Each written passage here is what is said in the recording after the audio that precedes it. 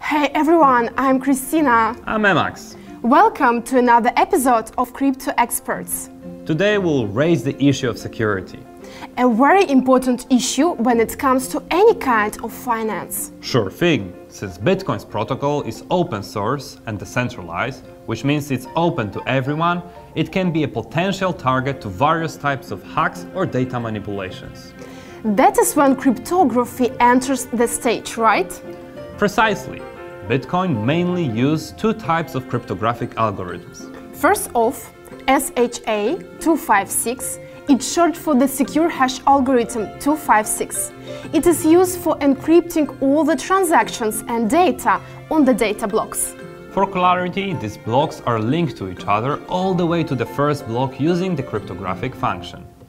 The second kind of encryption is ECDSA, the Elliptic Curve Digital Signature Algorithm. Well, the name itself is puzzling enough. This is another important asymmetric cryptographic algorithm. It is primarily used for public key cryptography in Bitcoin. It's helpful in creating addresses and private public key pairs. The public key is used to receive or send funds and the private key to digitally sign any transaction on the blockchain. These two encryption methods are so secure that even the world's fastest supercomputer would take years to crack them. I feel much safer right away. You sure do, and I hope you will join us for the next episode. See you! See you.